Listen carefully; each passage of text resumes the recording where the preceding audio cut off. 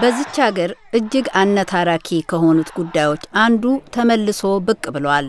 የጽንስ ማቋረጥ መብትን የሚደግፉት ዲሞክራቷ ሴኔተር ኤሊዛቤት ዋረን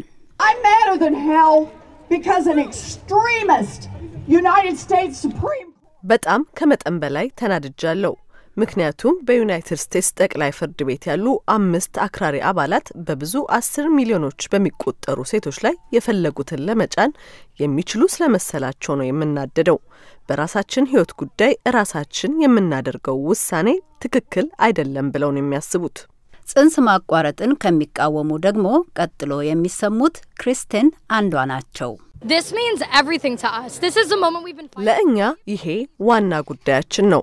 ስንታገል የኖርነውም ለዚህ ነው። አስክሬኖችን አይተናል።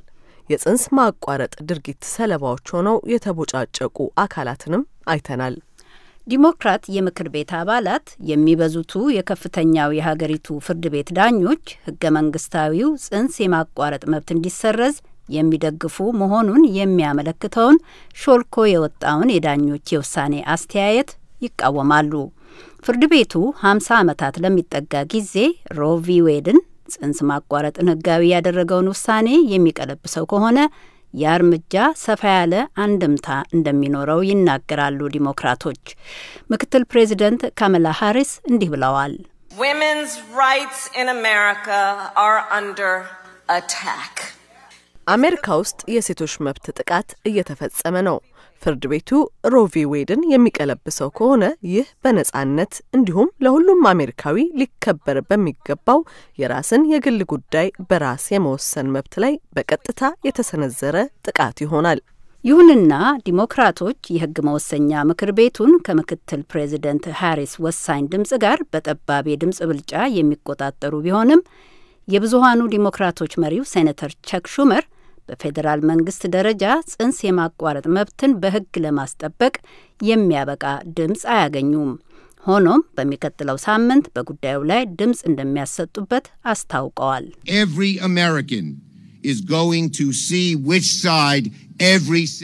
የአሜሪካ ህዝብ እያንዳንዱ ሴናተር በየትኛው ወገን እንደሚቆም ያየዋል። የመቶ ሚሊዮን ሴቶች መብት ጉዳይ በህዳሩ ምርጫ ስለሚቀርብና ይህንን የፍርድ ቤቱ አስከፊ ውሳኔ ለመታገል ስለሚረዳ በምርጫው ላይ አንድምታ ይኖረዋል። ጽንስ ማቋረጥን የሚፈቅደው ውሳኔ ከተቀለበሰ ጉዳዩ በህዳሩ ምርጫ ዋና ነጥብ ይሆናል። በአገር አቀፍ ደረጃ ከአሜሪካ ህዝብ 54 ከመቶ ጽንስ የማቋረጥ መብት መከበሩን የሚደግፍ ነው።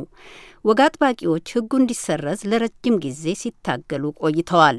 የቀደሙት ፕሬዚደንት ዶናልድ ትራምፕንም ጽንስ ማቋረጥን የሚቃወሙ ዳኞችን ለጠቅላይ ፍርድ ቤት ዳኝነት በመሾማቸው ይደግፏቸዋል። ሪፐብሊካኑ ሴኔተር ጃን ቱን እንዲህ ብለዋል። የሰው ሕይወት እንዳይጠፋ መከላከል እጅግ ታላቅ ከሆነው እምነታችን፣ ለፍትህ ካለን ፍቅር፣ ለሰብአዊ መብት ከበሬታ ከመቆማችንና ተጋላጭ ለሆኑ ንጹሐን ካለን ርኅራሄ ጋር የሚጣጣም ነው። ተጋላጭ የሆኑ ሰብአዊ ፍጥሯንን ሕይወት ለመጠበቅ የታገሉትን አሜሪካውያንን በሙሉ አመሰግናለሁ። ሆኖም የመወሰኛ ምክር ቤት ሪፐብሊካኖች መሪው ሴኔተር ሚች መኮነል የጠቅላይ ፍርድ ቤቱ ዳኞች የመጨረሻውን የሕግ አስተያየታቸውን ስላልሰጡ በዚህ ሾልኮ በወጣው ረቂቅ አስተያየት መመራት አይገባም ሲሉ አስጠንቅቀዋል። ፍርድ ቤቱ ለዚህ የተንኮል ጫጫታ ጆሮውን መስጠት የለበትም። ዳኞቹ በሙሉ ነጻነት ስራቸውን መስራት አለባቸው። እውነቱንና ሕጉን ተከትለው ስራቸውን መስራት አለባቸው። ከዚያ የሚሆነው ይሆናል።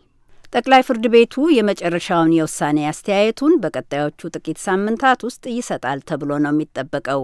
ሾልኮ የወጣው አስተያየት የፍርድ ቤቱ ውሳኔ ከሆነና ከጸና በ13 ክፍላተ ሀገር ወዲያውኑ ጽንስ ማቋረጥ በሕግ ይከለከላል። ለተጨማሪ 19 ክፍላተ ሀገር ደግሞ ጽንስ ማቋረጥን የሚከለክሉ ሕጎችን እንዲደነግጉ መንገዱ ይመቻችላቸዋል።